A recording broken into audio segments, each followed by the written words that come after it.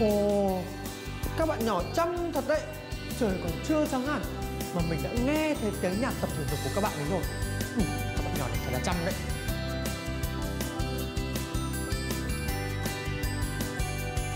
Ôi chà Chỉ có khởi động một chút thôi Vận động chân tay một chút thôi Mà mình đã thấy khỏe hơn hẳn rồi.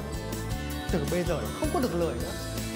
Tranh thủ buổi sáng nào cũng phải đi tập thể dục một chút mới được các em nhỏ ơi Tập thể dục thể thao còn có rất nhiều cách khác nhau Rất nhiều bài khác nhau Rất nhiều bộ môn khác nhau. Các em có biết đó là những hình thức nào không? Đó là bơi này Chạy này, cầu lông này, bóng đá, bóng chuyền, bóng bàn vân vân và vân vân rất là nhiều. Môn nào cũng được hết ý các em nhớ này mình phải chăm chỉ tập luyện thể dục thể thao thì các em sẽ có một cơ thể khỏe mạnh và dẻo dai. À anh nhớ có một câu hát là muốn khỏe đẹp thì hãy tập thể thao. Ai muốn khỏe đẹp thì hãy tập thể thao. Thôi đi tập thể dục nhé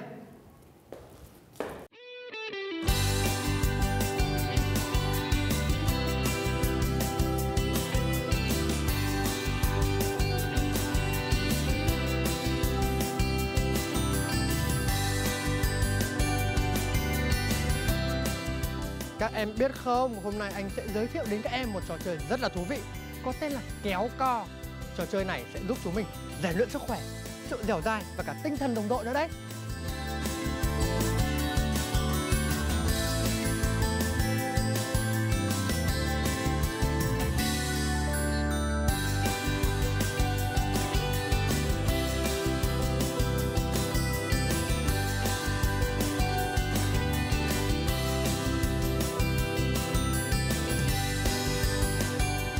Anh biết trò chơi kéo co sẽ có một đội thắng, một đội thua. Nhưng các em đừng lấy đấy làm buồn nhá Lần này mình thua thì lần sau mình lại thắng.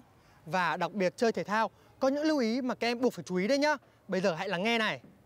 Ngoài việc phải chăm chỉ học tập các môn ở trường, chúng ta có thể lựa chọn các môn rèn luyện thể lực như chạy này, nhảy dây, cầu lông, bóng đá hay bơi lội, hoặc một vài môn rèn luyện trí tuệ như cờ tướng hoặc cờ vua. Nhưng việc lựa chọn thời gian và thời điểm luyện tập cũng rất quan trọng đấy, để không ảnh hưởng đến cơ thể và sức khỏe của chúng ta. Chúng ta nên tập thể dục buổi sáng hàng ngày từ 10 đến 15 phút, thời gian có thể dài hơn nếu các bạn không thấy mệt nhé. Nếu tập vào buổi sáng, nhất định chúng ta phải tập trước bữa ăn sáng nhé các em. Nếu không, chúng mình sẽ rất dễ bị đau bụng đấy các em ạ. Nếu chúng mình muốn vận động một chút vào buổi tối thì thời gian tuyệt vời nhất là sau bữa tối một tiếng. Nhưng nhớ là chỉ vận động nhẹ nhàng thôi, như đi dạo với bố mẹ này. Việc làm này sẽ rất tốt cho sức khỏe và đảm bảo chúng mình sẽ có giấc ngủ ngon, có thể có những giấc mơ đẹp nữa đấy. Đặc biệt, trước khi các em muốn chơi hay tập một môn thể thao nào đó, cũng phải nhớ khởi động một vài động tác nho nhỏ ở cổ tay, cổ chân này và có thể vung tay, vung chân. Chúng ta sẽ không bị chuột rút hay cứng cơ khi hoạt động đâu. Các bạn nhỏ ơi, vận động cơ thể rất là tốt, sẽ giúp cơ thể chúng ta khỏe mạnh, dẻo dai hơn. Chúng mình cùng nhau đi tập thể dục thôi nào.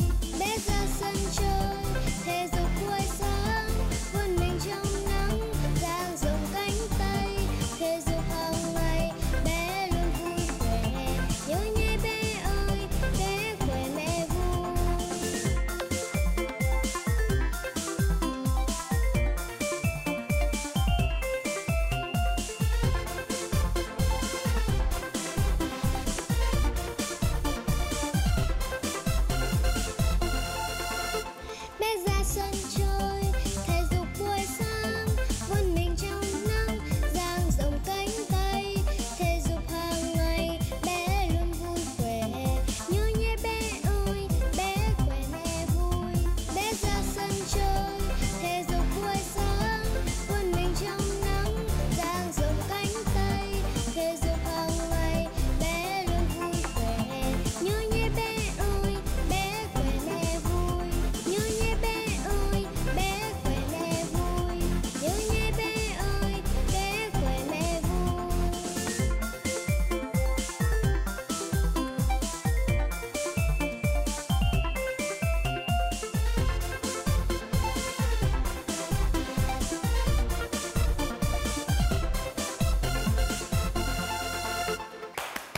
Giờ chơi hết rồi, giờ chơi hết rồi.